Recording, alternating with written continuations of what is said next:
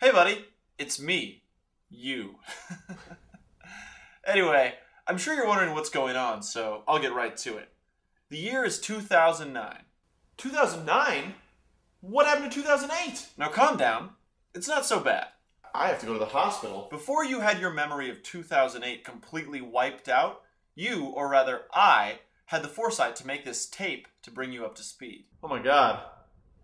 Oh my god. Charles, pay attention.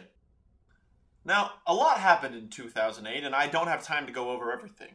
We have a black president, and we're in the middle of a worldwide recession, but you'll figure that stuff out on your own. No, what really made 2008 special was that it was a record year for Seattle sports. Oh. Nice. All right, let's recap. First up, the Sonics. What was expected to be a rebuilding year for the Sonics turned out to be much more than that. The franchise got a great draft class, a new arena, and walked away with the city's NBA championship. Check out this double overtime buzzer beater shot from Rookie of the Year Kevin Durant to win it all. Why was the NBA championship on FSN? And this improbable run was fueled by unprecedented fan support, which saw 40 straight capacity games at Key Arena and a noise level that stunned the opposition.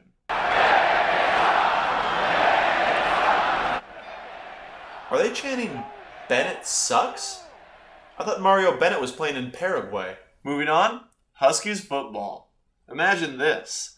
Their 2008 record was a mirror image of the 1991 team's 12 0 season.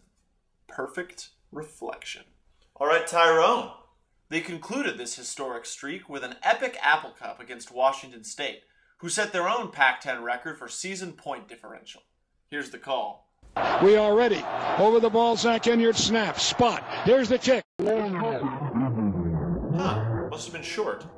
Wait, why are the Wazoo fans celebrating? Okay, next up Seahawks. All I can say is the NFC West champions return to the Super Bowl. I called it.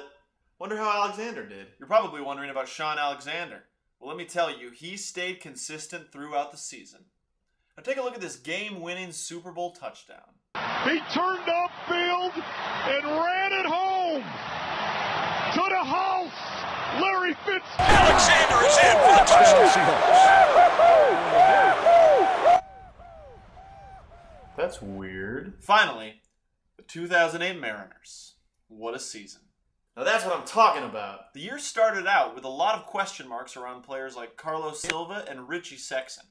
But the M's finished off as one of just two teams with a winning percentage 120 points off of 500. You mean above 500? Here's a clip from Game 5 of their playoff series against the Yankees. And the 0-1 pitch on the way to Edgar Martinez. Swung on and line down the left field line for a base hit. Here comes Joey. Here is Junior to third base. They're going to wave him in. The throw to the plate will be late. The Mariners are going to play for the American League Championship. I don't believe it.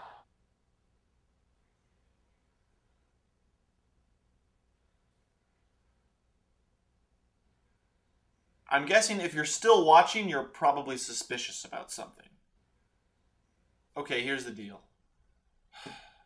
The Sonics left town, the Huskies went winless, the Seahawks were out of the playoffs by October, and the Mariners lost 100 games. I was trying to protect you. Well, thanks a lot. Now I have amnesia and depression. Well, if it's any consolation, there was one bit of good news. Roll it. you tested positive for testosterone and an anabolic steroid known as primobolan. What's the truth? I did. I did take a banned substance. I did. I did take a banned substance. I did take a banned substance. I did take a banned substance. I did take a banned substance. I did take a banned substance. I did take a banned substance. I did take a banned substance. I did take a banned substance. I did take a Hey man. Substance. Do you have that memory gun? I did take I said if you need a loving then I'm mm-hmm, out travel.